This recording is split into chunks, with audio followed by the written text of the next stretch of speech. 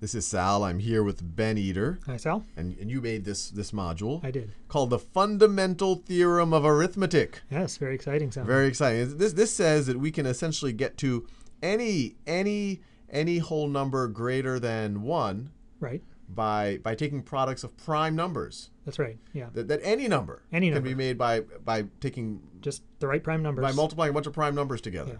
So and and in, right over here, we're essentially going to try to do that. We're and there's and there's one and only one way to get to that number. there's with only one numbers. way. Right, Yeah. right. There's not other Yeah. ki- kind of ways There's to only one set of prime numbers that will get you to any number. Oh, very, very interesting. Yeah. So let's see. So they say find the prime factorization of 42. So when they're saying prime factorization, or when you're saying, since you wrote this, I, I guess. I guess you're me. saying factor this into all the numbers that when I multiply them together, I get to 42. All Right. the prime numbers. prime numbers. Prime and so we only give you prime numbers here to work with. You only give the prime numbers 2 through 13. Right. It says use arrows to change the exponent on each prime number. So the exponent is how many times you're going to multiply that. That's right. Or and we have many videos on this going into depth on exponents, but you could also one way to visualize it: how many times you're going to multiply one times this number. Right. Is, it's is a one way, better way to it- think it's- about it. for, for at least this case right over here. We're multiplying one times two zero times, So you just have get one. those one there. If you multiply it by two once, you get a two there. There too.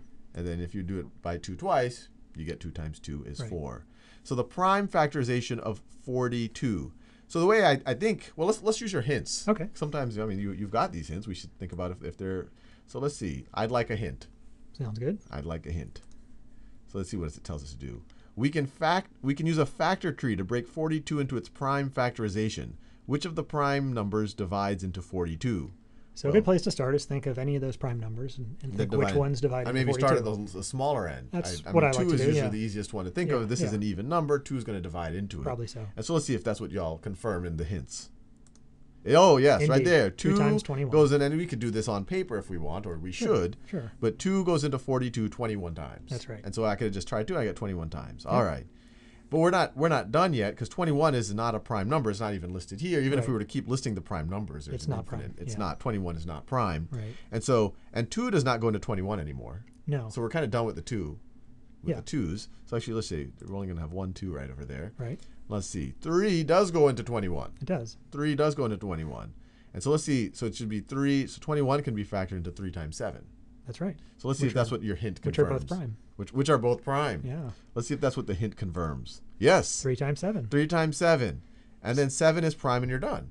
That's right. So you can say so you're gonna have a you're gonna have this two right over here. You're gonna have a three, and then we're gonna need a seven. Two times three times seven is 42. 42. When and we're done. We're done. And we go right over here. Answer. Check the uh, check. Click the uh, to change your answer. No, no, I don't need to. We already did that. I already did that. So now I just check the answer, and I'm done. Correct.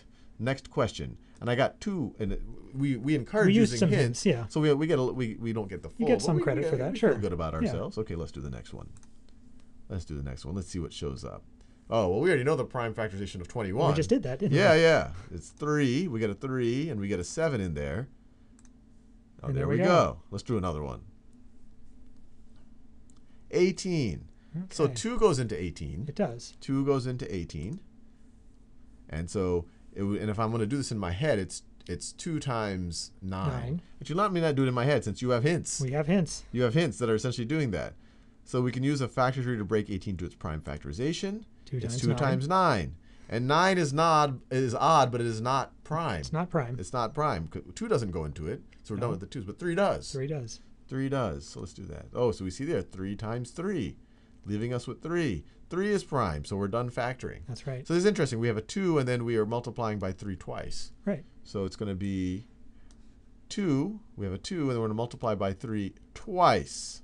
Yep. And three times three is nine. And so two times nine is eighteen. And we're that's done. what we're looking for. Yeah. we, we we have not been able to prove the fundamental theorem of arithmetic wrong. That's right. we haven't disproved it. very, very, very good. Well, this is this is very neat.